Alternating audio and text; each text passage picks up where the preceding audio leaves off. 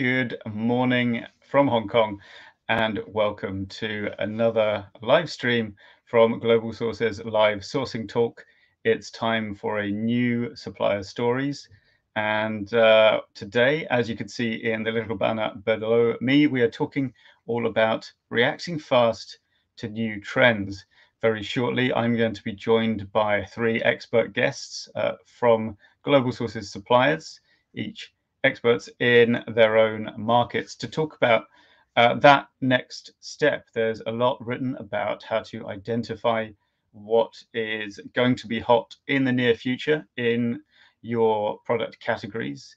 Uh, much ink has been spilled on the topic, identifying those trends, seeing uh, what is big now and is going to last for the foreseeable future. And the most important one is identifying the bandwagons to hop onto uh, before they happen. But once you've identified that, what do you do? How do you take the steps that get you from knowing what you want to do to actually doing it as fast as possible? That is the topic of our conversation today. Having said that, of course, there are specifics to each and every business situation, and the function of Global Sources Live is to provide the information that you need, whether you are a, for example, a a small business owner, perhaps an e-commerce seller, uh, all the way up to the uh, sourcing director for a multinational business. Uh, you'll have different needs and different questions. And the best way for us to know what those questions are is if you tell us. So do leave your comments uh, in the space provided below for our guests. you can do that while we're live or indeed afterwards. Hello from the past if you are watching this after the live stream has finished. Uh, we also have a bit of a secondary uh, question for you. Uh, it would be great if you can, uh, well, just post us a hello say where you're watching from. That's always good. Uh, we're also curious to know about your intentions or your wish to attend sourcing shows, international sourcing shows this year. Uh, quarantine measures in different places mean different situations, of course, around the world. So we'd like to hear about your experiences and your plans and wish your wish list perhaps for sourcing fairs in 2022. Um, but of course, you know, you're welcome to comment or query or uh, discuss anything you like down there in the comment section. Uh, the mandatory requirement to like and subscribe goes here, so please do that. That will get you all the notifications you need about our upcoming live content. Uh, that being said, let me just check my agenda. I think I've covered all the intro things. So uh, what we will do is we'll introduce each of our guests uh, one at a time so you can get to know uh, them and the perspective that they are coming from. And then we'll segue uh, into our main discussion with everybody on screen at the same time. So uh, first up, I'm going to uh, bring on from Shanghai Atlantis Industry Company Limited, uh, Celine Che. Now, let me just fix my banners for a second. And let's see if we can talk to Celine. Good morning, Celine. Hello. Can you hear me? Good morning. good morning, Tom. Hi, hi. Uh, thank you for joining us this morning. Um, I know as well that it was a bit uh, uh, a bit of a last minute call up as well. You you very kindly have stepped in uh, for your colleague who was originally planned to do this. So uh, I know it's difficult to do these things at short notice. So um, special thanks for that. Now, um, are you are you calling us from Shanghai today? Is that where you are? Uh, yeah, Shanghai is still cooling now. uh, it will be, I think uh, it will be hot in this week uh, later. Oh, will be. Yeah, I can imagine. I know it mm. gets quite, uh, uh, what's the word, sultry in Shanghai. Actually, I haven't mm. visited Shanghai in, uh, I think, more than 10 years now. So I expect it's uh, uh, a lot must be different in the city since then. Um, what's, uh, I mean, uh, I suppose for if you any of our viewers were to come and visit Shanghai, what's your, what's your recommendation of uh, what places should they go to see on the on a trip? Uh, uh yeah, yeah, yeah. Uh, yeah, there's many uh, famous uh, uh, place spot in Shanghai. So uh, um, my many foreign, my many customers uh, uh, like to come to Shanghai and visit. Uh, but uh, in these two years, it seems difficult. Uh, I hope they will come to Shanghai. Yeah, of course, it's yeah difficult to travel recently, but yeah, I imagine that probably helps to persuade people to come visit the company. It, if they can combine it with a trip to Shanghai, that's uh, mm-hmm. that's pretty attractive. I think uh, that's nice. Speaking of uh, visiting the company, um, would you would you mind telling us about mm. uh, Shanghai Atlantis uh, industry? Can you tell us what you know what products do you make, and maybe a little bit about the your target markets, something like that? Uh, uh, yeah, we uh, we have uh, our most product is for the sport product, uh, such as uh, the younger younger product, uh, and uh, for the um, beach some sport product, uh, and also uh, many other product many other products uh, are for the European and uh, American uh, market. Uh, and we have do this. Uh, we have do uh, this product uh, for more than twenty two years, twenty one years. uh, twenty one years. Wow. Yeah. Yeah. Oh, all right. Okay. Thank you. Thank you, Celine. All right. Well, we will hear more from you uh, shortly during our main discussion. Um, so thank you. Um, I'll drop you off the screen just now, and uh, I'll talk to you in a, in a few minutes. Okay. Thanks. Yeah. Thanks. All right. Okay, so that is uh, Celine Che of uh, Shanghai Atlantis, uh, sports and leisure wear, um, as you may have seen in the, the promo videos at the beginning uh, just now. Now, uh, next we will say hello to, let's see, uh, Kurt Yuan of Shenzhen Hippo Digital Company Limited. Kurt, good morning. good morning, everyone. Hi, well, thank you very much for for joining us Kurt. So um, Kurt is another person who stepped in for a colleague who couldn't make it. So again, thank you for for doing that. Really appreciate your time. Uh, now uh, you're in, uh, uh I guess you're in Shenzhen, although perhaps you have an office somewhere else. Uh, based in Shenzhen, yeah. Yeah, very nice. So just, uh, I mean, pr- pretty close to where I am. So no need to ask you about the weather. I guess it's the same. Um, so could you tell us a little bit about Hippo Digital and maybe a I mean, maybe not the whole history, but perhaps uh, mm-hmm. some fun facts and your main products and so on. Okay.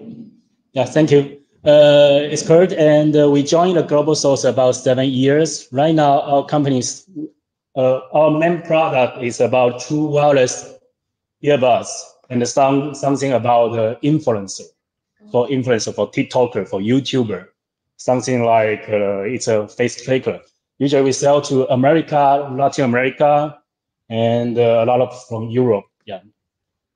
And right now we sell earbuds over a million pieces. So, but uh, we can see the trend is the influencer kit, something like face tracker or, or action camera. Yeah. All right, that's very interesting because that's, uh, of course, that's a market segment that maybe, um, you know, five to ten years ago simply did not exist. So, in terms of new trends, uh, it seems like you are in a, a very good position to talk about uh, to talk about that subject. All right, uh, thank you very much, Kurt. Um, again, I'll drop you off the screen just for a second and talk to you in a moment. And our final uh, guest to say hello to this morning then uh, comes from uh, well, Guangdong uh, XSSY Semiconductor, and his name is Jerry He. but unfortunately, ah, he seems to have dropped off the call, which is not ideal. Um, Okay, so this is what happens. What happens here is your live stream host fills for time for a couple of minutes. I think what we had better do um, is, well, firstly, we hope that Jerry can reconnect, uh, and we'll say hello to him um, if and when he is able to reconnect. Uh, in the meantime, though, oh wait, hang on, I'm just seeing down here. There's a reconnecting person. Let's wait one minute and see if he can get his camera turned on. Uh, we will shortly continue with our main discussion, but let's just see if we can get. Hmm. Ah, here we go. Jerry has just got his camera on. Okay, I'm gonna gonna bring you on now, Jerry. Jerry, hi. Okay. Can you hear me? Yes, Tom. I'm very glad to, to be here. Yeah. Yeah, I'm, I'm, glad to see you as well. For a second there, I thought I thought we might not get you. So, um, thank you for joining us. Uh, now, where where are you uh, calling us from? Are you in uh, Guangzhou or, or somewhere else? Uh, I'm from Shenzhen City, Guangdong Province in China, from China. Ah, right. So you're actually in the same city as as Kurt uh, today. Yes. Well, that's uh, it's good to have you with us. Perhaps could you tell us a little bit about XSSY uh, and the products you make uh, and your uh, and the people who buy them? Okay. Uh, okay. hello, everybody. my name is Jerry. I'm from Guangdong uh, Xusheng Semiconductor Companies. It is glad to know you here. Okay. Uh, our companies uh, are focused on two parts. Uh, the first part is that we're making some electronic components like some infrared LED, some kind of TWS sensors, optical electronics, some some components like that. And then the second uh, parts that we make CCTV cameras, like the smart uh, cameras, the smart IP uh, cameras, and so on. Yeah, uh, that uh, the, the, the, both areas is what we do. All right, so interesting. So you make both components and finished electronic products in some, some yeah, areas yeah. as well. Okay, that's that's yeah, great. Yeah. That's good to have a sort of a dual perspective, and of course you have some crossover with uh, Kurt, uh, whose company makes yes. TWS yeah, earbuds. so right. um, you guys have a little bit in common at different stages of the supply chain. So Speaking of Mm-hmm. uh, that, let's get the other our other two guests back onto the screen. There we go. Hello, everyone. Nice, nice, happy family in four rectangles. So yeah, let's let's talk then about uh, our main discussion topic: reacting fast to new trends. So I mean, to to open things up, let's ask: what uh, do you think is uh, the best way for buyers to find out about new trends that are emerging you know, before their competitors find out. And um, most importantly for supplier stories, uh, can suppliers help them to do that? Uh, I would like to go, let's go first to uh, Kurt from uh, Hippo Digital for that. Um, mm-hmm. What are your thoughts, Kurt? Of course, right now the online information is very easy to get. The Google, the Global Source, and lots of platform. So even right now, we don't have an international fair. So I think we just uh, open our notebook and uh, google.com. But how to find the right one, how to find a, a suitable one, it's very important. So uh, I think as a supplier, we always training ourselves how to provide the right information in a short time because right now everybody only have 24 hours. So we have to collect a lot of information and uh, just uh, send our. I, I, always hope my customer can can realize what we are doing in one minute. Yeah, so prepare the right marketing information always uh, to to the best thing to to as a supplier. Well, that's good to know. So, you, as a supplier, you are actively looking for this trend information so that your customers can can take advantage of it, right? Yeah. yeah. Okay. Well, I mean, so uh, Celine, coming to you, what well, what's your perspective on this? Uh, what's the best way to to not just to find out about those new trends, but to, if you're a buyer, to get there to find out first before your uh, rivals find out about it. Uh, what do you think? Uh, I think the buyer, uh, the buyer will need to find the uh, new trends from the professional, uh, like uh, like uh, keywords on the professional website or professional magazine. Uh, we are a supplier. We will put uh, our new product and uh, all uh, hot product on on the uh, Global Sources magazine, uh, magazine and website. Uh, we have corporate uh, corporate uh, with uh, Global Sources for 15 years. And uh, I think uh, um, a buyer should find out the new trends on the professional website, not from uh, the different or not uh, professional.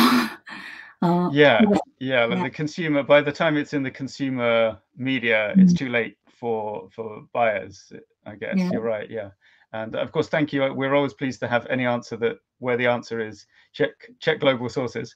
Um, but yeah, yeah, you're right. That's uh, something that many buyers are perhaps not aware of is that suppliers and uh, B2B uh, media like global sources are yeah we're working in advance well in advance of, of when those trends really really hit. So yeah thank you so uh, jerry good good timing to get back on screen again. So yeah our, our question then is the best way to find out about a future trend uh, before competitors and and okay. how can suppliers help buyers uh, with that? Yeah.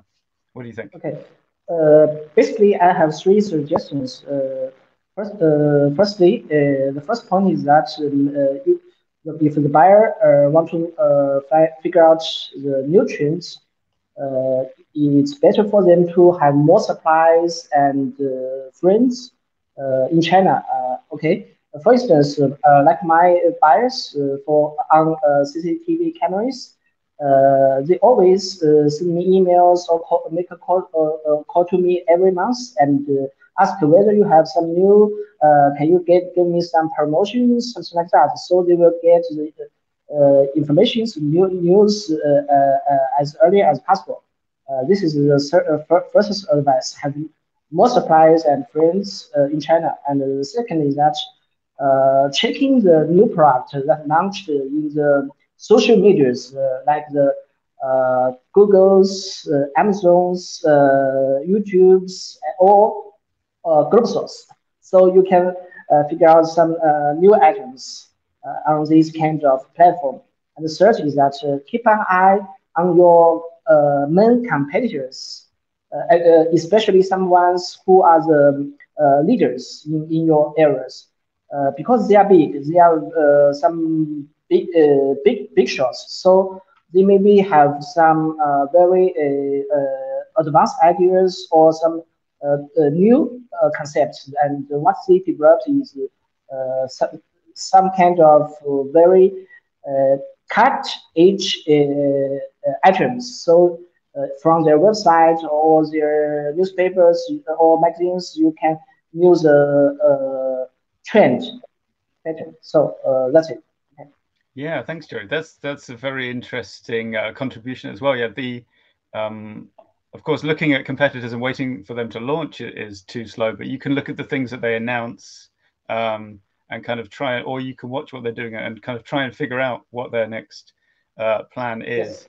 And you're right. And of course, the reaction to those, we don't just see reaction on social media and in um, traditional media to things that have already come out. We, we do see those reactions to advanced, uh, you know, renders of things, announcements, um, even sometimes when uh, a big name like uh, Facebook or uh, sorry, they're called Meta now, aren't they? Uh, where Meta or someone or Samsung even files a patent, uh, we often see uh, people get excited about that. So that's a great tip from you, Jerry. all right, well, so that's what we do in terms of identifying trends now. And I think I'll, I'll, ask Celine this question first. when a buyer has they've identified a new trend, they've you know they've decided yes i want to take advantage of this trend. What must they do next in order to get to market first with a product that matches that trend? Uh, uh, I think the uh, when buyer has identified a new trend, uh, the uh, the first they uh, they will uh, uh, they need to do uh, effective uh, public publicity and to let uh, the customers know this product that uh, when more and more people know it and they will, will buy it. Um, uh, but uh, the buyers should uh, in, uh, ensure they and uh, know well about the product quality and uh, uh, make a suitable price uh, to let uh, most people to accept it. Uh, yeah, yeah, and and you can do that even before. Yeah, you don't need to wait for your product to be manufactured yet. You can also already start to promote it if you've decided, right? So that's uh, mm. yeah, that's a good uh, that's a good thinking there. Um, I was going to go to Jerry, but it looks like he's slightly occupied. So let's go to let's go to Kurt uh, with that. Now, um, of course, you're in a, a somewhat different uh, arena to Celine. Celine's coming from you know, lifestyle and, and sports, uh, whereas you're looking at electronics. Do you think that makes a big difference? You know, what, what's your tip for the next step uh, once you've decided on this hot trend that you want to be part of uh, as a buyer? So that's to uh, to Kurt, please. Yeah. So, oh, okay, uh, I'm, sorry. It's my time, right? Yes, yes. Sorry, it's. Uh, we'll come to you next, Jerry. Sorry about that for the confusion. Okay, okay. Okay. okay. So, as a buyer, if I want to get a new trend, because new trends means there are lots of new knowledge we have to pick up. So I always find that if I were a buyer, I will find a supplier maybe on the global source and find a supplier who can can give me a, a lot of knowledge in a short time. Because to a new trend, to a new market, everybody have to learn. Even a, a consumer have to learn. So we have to know what consumers thinking and what is a good supplier for this new trend. So I always find a good supplier to, to help me to pick out the, the background knowledge. All right, and uh, I mean, Jerry, uh, do you uh, have a similar yeah. experience or uh, a bit different? Uh, what do you think? Uh, yes, I have some suggestions mm. of that. And firstly, when you identify some new trend, I think it is worth you collecting more data or and information because maybe the trend is some for a fake trend or it's not a real uh, trend. Uh, so you must uh, get more information and judge whether uh, it is deserve you do it. And the second, uh, after you're collecting all the information and checking with your partners or colleagues or your boss, and uh, then it will help you to make the right decisions. yeah. Yeah, oh, I think it's uh, in, interesting that all three of you, uh, despite being in, in, quite different industries, all are uh, emphasizing the need to to know as much as possible. Um, so that's a that's a, a I think very useful information for for every kind of buyer. Um, certainly, you want to know what you're doing before you commit, as as Jerry says, and uh, in order to work out the product you're going to exactly the product you're going to develop, as as Kurt mentioned, and then also to start promoting that product before it hits market, as Celine brought up, you need to know exactly uh, what promises you can reasonably make about it to your uh, your own customers. You know, if you're trying to get this into retail and you sell uh, a bill of goods, as they say, uh, to some retail chain for a product that you promise does one thing, and then when it arrives, it doesn't, you could suffer some real uh, reputational damage and probably lose some uh, future orders. So.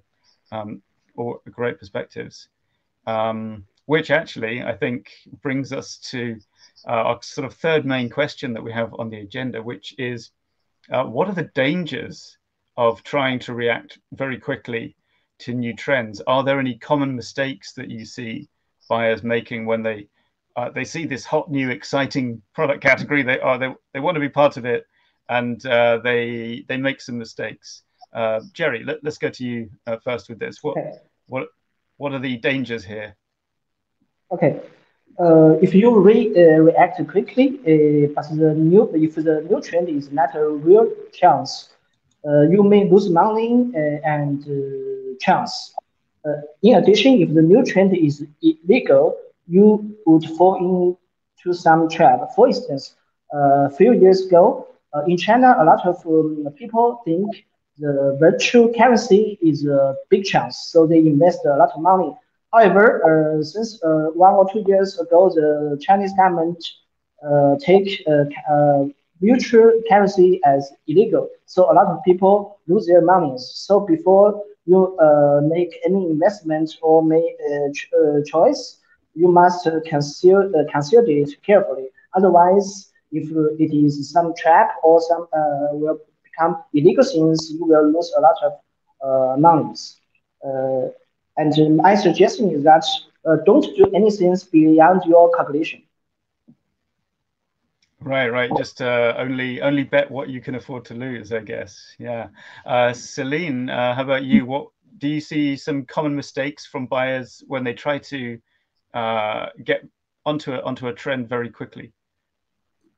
Uh, for the new trends, uh, it will meet. Uh, it will. Uh, it's a opportunity, but uh, at the same time, it will be some danger.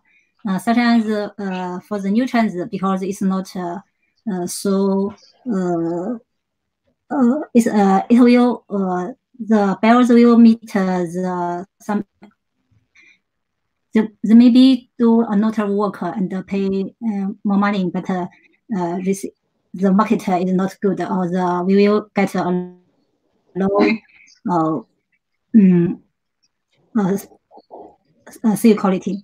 Uh, at the same time, uh, maybe the new trends, the supplier is not so good. So uh, I think there will be uh, meet a lot of dangers uh, for the new trends. Uh, but at the same time, it's an opportunity. Yeah, exactly. It's so it's so difficult, isn't it? High high risk, high reward. I think is the the phrase.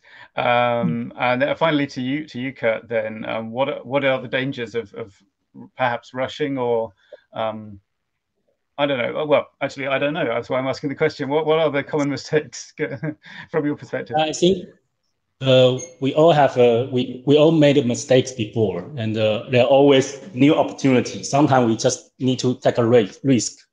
But how to take a risk? Uh, if I were a buyer, of course, the new trend and the new opportunity, as I mentioned, new knowledge. And so I will find a reliable supplier I want to get their point of view. And you know, the new trending new product, of course, there are some risky selection inside. So of course, from the market, we don't know, but from the supplier, especially the re reliable supplier, the supplier, the good supplier will tell you what kind of risk we have.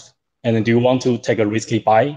Yeah, we can make a, we can take an adventure together the buyer and the supplier should be together to face the market, to embrace the new trend.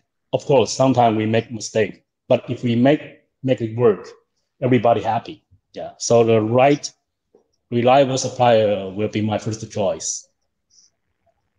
Fantastic. Thank you, Kurt. All right, let's go check out the comments. Um, Uh, no questions as yet. To be honest, we tend to get more comments uh, after the live stream because people wake up in America and Europe.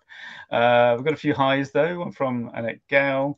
In fact, they all say hello. Uh, one from Rose Nguyen and uh, Dante Nicosio. Um, I'm not going to profile them too much, but from the names, I'm guessing they're all in different places. Oh, we have a, a question here on Facebook from Montserrat Abdulgania, who asks, how can you identify a real supplier for a new trend for a product? Um, well, actually, this I think this relates to what you were just talking about, Kurt. So maybe I'll just ask uh, this of you. Yeah, how do, what's what's the way to? Of course, you're right. You want to know that you have a reliable supplier um, for this product. But if it's a new trend, how how do you know which is the the right one? Uh, the, the question is how to identify a real supplier. Yeah. So if I were a buyer, uh, because we are manufacturing lots of things, so as a supplier, uh, we have enough professional knowledge to check.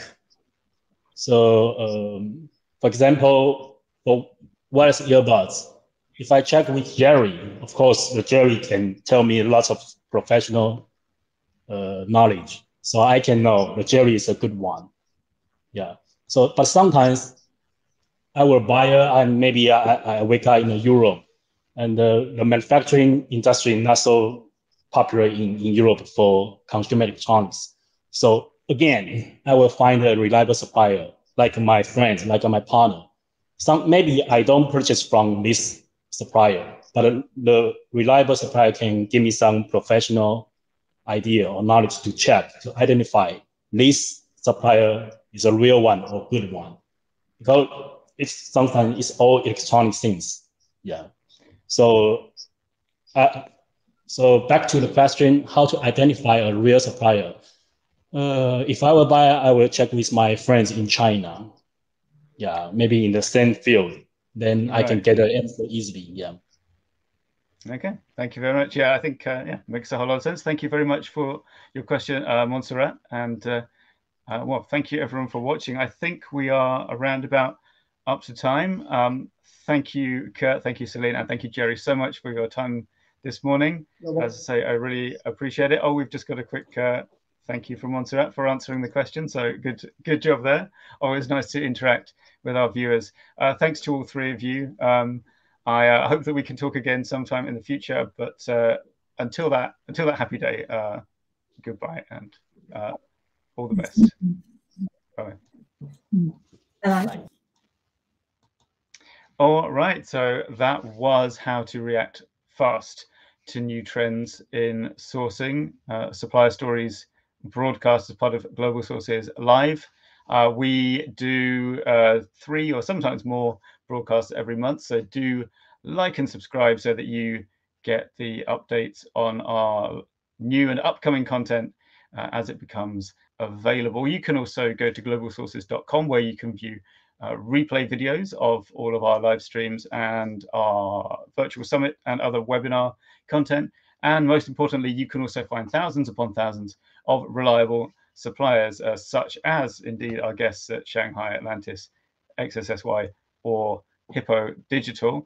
Uh, below this video, you should be able to see the links to their uh, supplier pages on globalsources.com. And if you'd like to get in touch with them directly, click that link, uh, go to the message box on that page, and you can uh, send them a message, uh, which will go immediately, perhaps not to the people you saw on screen uh, just now, but certainly to someone at that company who'll be able to put you in touch. Okay, that is enough uh, from me, I think. Uh, thank you very much for watching, and I will see you very soon, I hope. Goodbye.